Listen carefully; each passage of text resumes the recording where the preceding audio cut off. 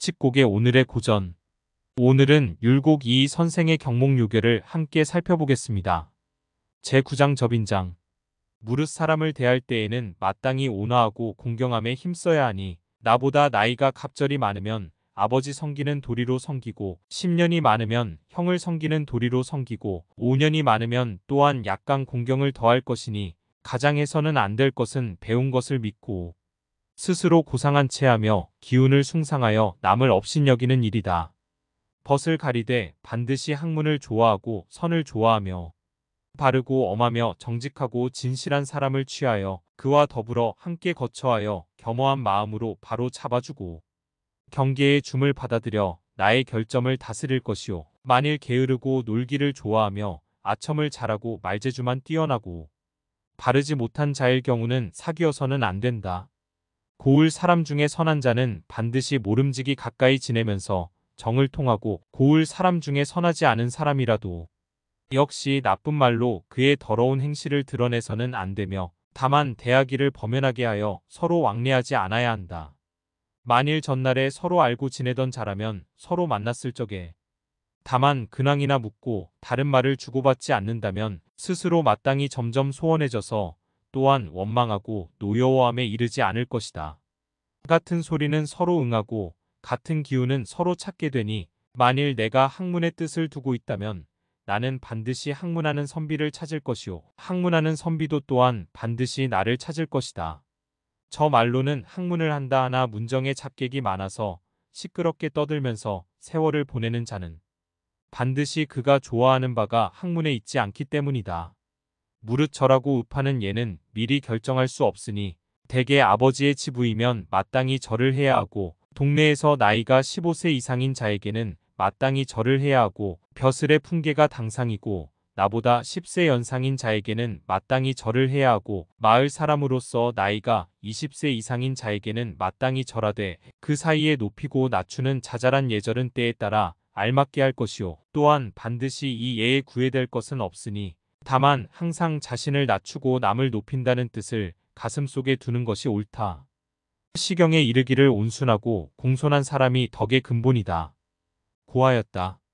사람들 중에 나를 헐뜯고 비방하는 자가 있으면 반드시 돌이켜 스스로 살펴야 하니 만약 나에게 실제로 헐뜯음을 당할 만한 행실이 있었으면 스스로 꾸짖고 안으로 따져서 허물을 고치기를 꺼리지 말 것이요. 만약 나의 잘못이 매우 미미한데 더 보태어 늘렸다면 저의 말이 비록 지나치나 나에게 실제로 헐뜯음을 받을 만한 싹과 맥이 있는 것이니 또한 마땅히 전의 잘못을 제거하여 털끝만큼도 남겨두지 말 것이요. 만약 나에게 본래 허물이 없는데 거짓말을 날조했다면 이는 망령된 사람에 지나지 않을 뿐이니 망령된 사람과 어찌 거짓과 진실을 따질 것이 있겠는가. 또 저의 헛된 비방은 바람이 귓가를 스쳐 지나가고 구름이 허공을 지나는 것과 같으니 나에게 무슨 상관이 있겠는가. 무릇 이와 같이 생각한다면 회방이 올 때에 허물이 있으면 고치고 없으면 더욱 힘쓰게 되어 나에게 유익하지 않음이 없을 것이다. 만약 허물을 듣고 스스로 변명하여 시끄럽게 떠들면서 그대로 버려두지 아니하여 반드시 자신을 잘못이 없는 처지에 놓으려고 한다면 그 허물이 더욱 깊어져 회방을 받음이 더욱 무거워질 것이다. 옛날에 어떤 사람이 회방을 그치게 하는 방법을 묻자 문중자가 말하기를 스스로 행실을 닦는 것만 못하다.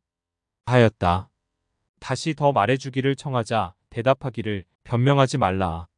하였으니 이 말이 배우는 자들의 본보기가 될 만하다. 무릇 선생과 어른을 모실 적에는 마땅히 의리 중에서 깨우치기 어려운 부분을 질문하여 그 배움을 분명히 해야 하고 고을의 어르신을 모실 적에는 마땅히 조심하고 공손하며 삼가서 말을 함부로 하지 아니하여 물으심이 있으면 공경이 사실대로 대답하여야 하고 붕우와 함께 거처할 적에는 마땅히 도의를 강마하여 다만 문자와 의리를 말할 뿐이요 세속의 더러운 말과 당시 정치의 잘잘못과 수령에 어질고 어질지 못함과 타인의 허물과 악행을 일절 입에 올리지 말아야 하고 고을 사랑과 함께 거처할 적에는 비록 물음에 따라 응답하더라도 끝내 더러운 말을 해서는 아니 되며 비록 엄숙한 몸가짐을 스스로 지키더라도 절대로 자랑하고 고상한 채 하는 기색을 지니지 말고 오직 마땅히 좋은 말로 타이르고 이끌어서 반드시 그를 인도하여 학문으로 향하게 하고자 하며 어린아이와 함께 거처할 적에는 마땅히 간절하게 효제 충신의 도리를 말해주어 그들로 하여금 착한 마음을 일으키게 해야 할 것이니 이와 같이 하여 맞지 않는다면 고을의 풍속을 점점 변화하게 할 수 있을 것이다.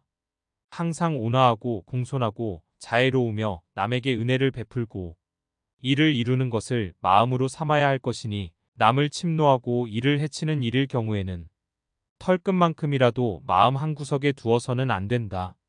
무릇 사람들이 자기에게 이롭게 하고자 하면 반드시 남을 침해하는 데 이른다.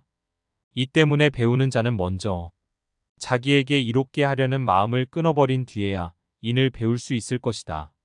고을에 머물고 있는 선비는 공사나 예의석상에서 만나보는 것 및 부득이한 연고가 아니면 관청에 드나들어서는 아니 되니 고을 원이 비록 지극히 친한 사이라 하더라도 또한 자주 찾아가 만나서는 안 되는데 하물며 친구가 아니매랴. 도리에 맞지 않는 청탁 같은 것은 마땅히 일절하지 말아야 한다.